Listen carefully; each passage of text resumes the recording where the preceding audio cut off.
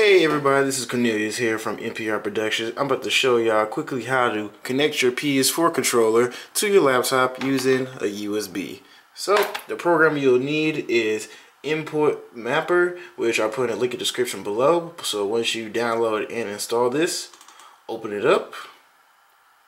And from here, all you have to do is connect your PS4 controller to your computer.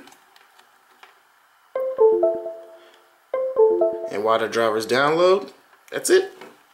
You have successfully connected your PS4 controller to your laptop and you can start playing your games. Thank you for watching. Like, comment, and subscribe to the channel for more videos just like this. See y'all.